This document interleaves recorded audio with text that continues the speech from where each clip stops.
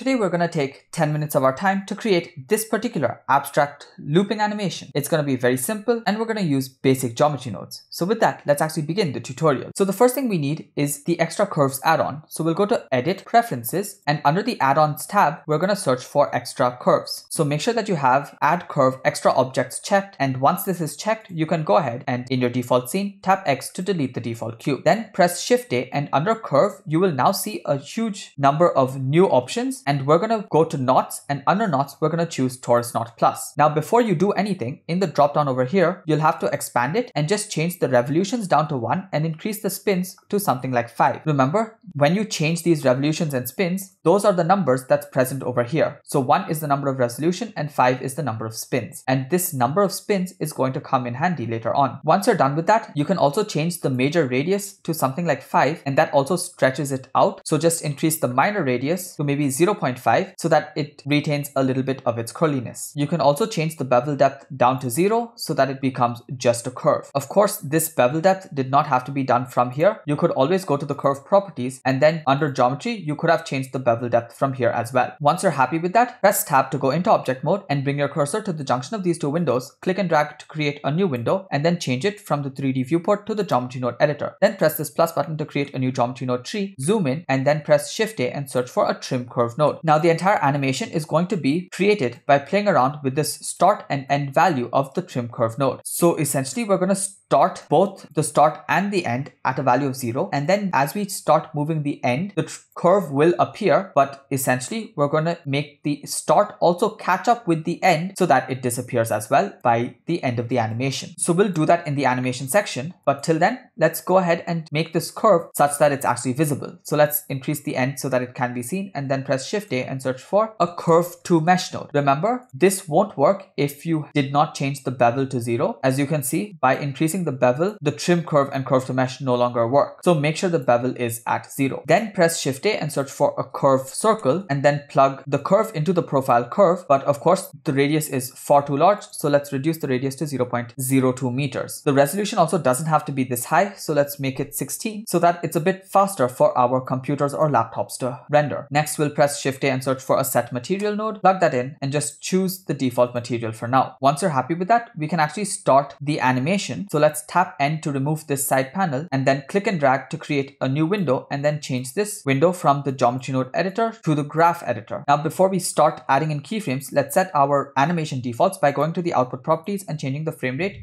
to 60 frames per second and while we're at it, we can change the resolution to 4K by making this 200% and we want it to be a 10 second long animation. So we'll change the end frame to 600. The output folder can be wherever you want it to be. File format, we're going to choose FFmpeg video and encoding. I'm going to choose a container of MPEG-4 and an output quality of perceptually lossless. Now I'll press the back arrow to go to frame zero and I'll change both the start and end to a value of zero and I'll hover over the start and tap I, and then hover over the end and tap I. Then I'll go to frame 600 and I'll just change the start all the way to 1 and the end all the way to 1, and then I'll hover over both of them and tap I. Once you've added in keyframes for all of these, to actually see the keyframes, just select the trim curve node and they should appear. Now they look like they're flat, so to zoom in on the y-axis, press Control middle mouse button and then just drag up or down to actually zoom in on the vertical axis. You can drag right and left to zoom in and out on the horizontal axis. So once you have that set, you'll realize that you actually added in four keyframes two for the start and two for the end, but you can only see one set of keyframes here and the other set over here. So to see both of them, just expand this geometry nodes button over here and you can see that you have the red keyframes for one of the values and this sea green keyframe for the other values. To see which one is which, just bring your cursor to the junction of these two windows and drag it out till you can see that, okay, the red is for the start and the sea green is for the end. So now, if you remember, at frame zero, we said that we need the end to start faster than the start so that the actual curve is seen. So we're going to have to play around with the end values first. So let's just hide the start values. And then with the end selected, let's select this left-hand keyframe. Since we want it to go faster than the start, we're just going to rotate it on the x-axis by a value of something like minus 55 degrees so that it actually starts off much faster. Now, if you unhide the red, you can see that clearly this is going to start off faster and the red is going to be slower. So if you play the animation, you can see the exact animation that you have. So that's well and good. And if you're happy with the way it looks, you can go ahead and create another version of this that'll go around this one. So to create that, just select the torus knot and press Shift D to create another variation and then press RZ to rotate it till it's perfectly out of phase. Now to know exactly how much you should rotate it by, remember that we created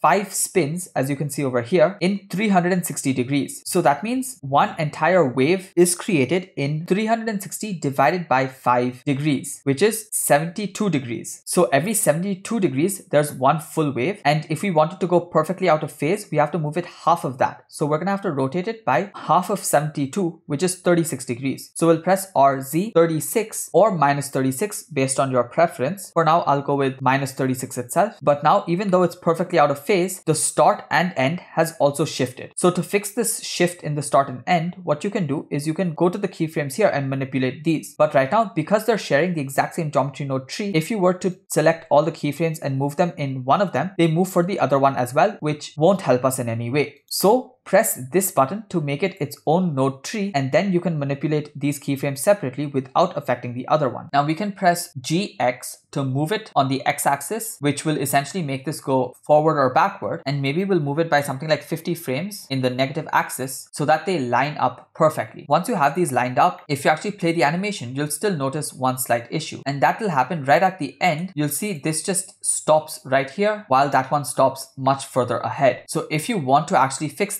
what you could do is select both of these and then go to the modifier panel over here. Remember, if you don't have those selected, even if you select the keyframes by tapping A, the modifier panel will not appear. So make sure you select them over here and then go to the modifier panel. If this panel is not present, tap N to bring it out and choose add modifier and choose cycles. Now, as soon as you choose cycles, the red values will become linear. So to fix that, instead of choosing repeat motion, we'll just choose repeat mirrored and that way it actually maintains that nice curve that we had, which is exactly what we want. So once we have that set, we can go ahead and create a few variations of this. So we'll select both of these and press Shift D to duplicate them. We want to offset the position which is getting trimmed. So we can actually select each of these and just tap A to select everything and offset them so that they come in front of their other variations. But again, because they're sharing the same geometry node tree, they're going to move both of them together. We don't want that. So let's duplicate it and then press GX. And now now you can see we can bring it in front of the other one. Now because the length of these curves are changing, you might think that it's in front, but at some point it might suddenly grow. So make sure you select the original, see the distance where this is maximum, and that means that is where the length of the curve is the most. So the distance between this curve and this curve will be maximum when this length of the curve is maximum as well. So make sure you're at a frame that's approximately where it's maximum. So something like this, and that's when you should take this and move it to the side to see that it's almost touching but not perfectly touching. So if you actually look at it now, we have moved it by about 457 frames, which means we moved it by 143 frames on the x-axis. So because we do that for this, we have to move this knot as well by the exact same amount.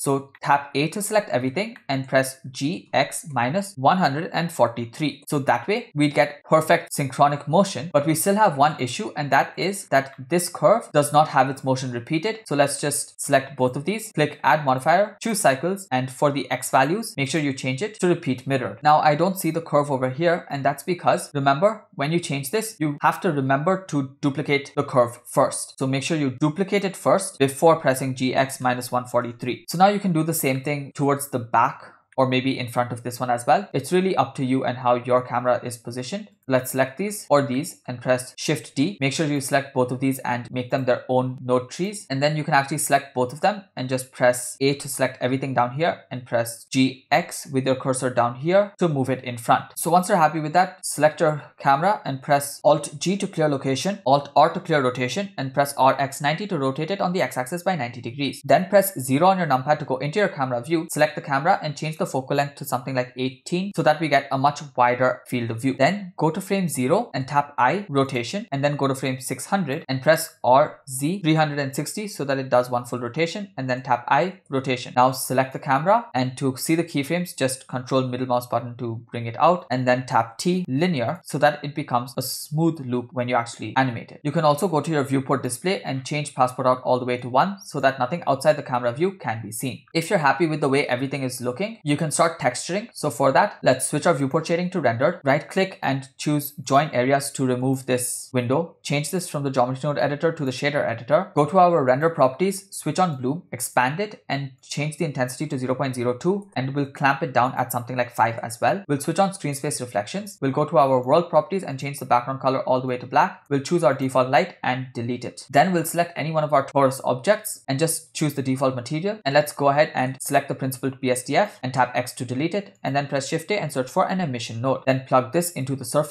and we'll just change the color to any two colors that you want. Maybe this one I'll make a green yellow combination. So I'll change it to green and make the strength to something really high. Let's go with 500. And essentially we should have created another material and use that for all of the other alternate torus knots. So let's select this one. Just go back to the geometry node editor and just choose another material. So let's go to the material properties, press this plus button to create a new material and choose that over here. Then we'll go to this torus knot and choose that same material and this alternate one and choose that material as well. Now back in our shader editor, we'll go ahead and select that material and do the exact same thing. Delete the principled BSDF, press Shift A, search for an emission, plug the emission into the surface and change the color to the other color that we wanted, which was a yellow color. Make sure that you increase the strength to the same value, which was 500, and then you have this animation. To make this animation much more interesting, you can play around with the background. So the first thing that we need to do is add in a floor plane. So let's press Shift A and search for a mesh. And then to see the mesh, let's just go back to the solid viewport shading and then press GZ to bring it down just underneath the curves. Then press S to scale it up and type in some large number. Let's go with something like 20. Then continue by pressing GZ and bringing it down till it's perfectly underneath the curves. Then press this button to add in a new material and go back to your viewport shading of render and just increase the metallic value all the way to 1 and increase the base color to a complete white by making the value all the way to 1. Then press Shift A and search for a noise texture and a Voronoi texture to add in the nice reflections and then plug the color from the noise texture into the vector of the Voronoi texture. Now press Shift A and search for a color ramp so that we get better control and plug the color from the Voronoi texture into the color ramp and this color can go into the roughness of the principled BSDF. Now you might not see the texture so to see the texture just increase the scale on the noise texture to the scale you scaled the plane up by so that was 50 and similarly you can just change the Voronoi texture scale to something like 10. Now this doesn't look too good because the plane is either completely reflective or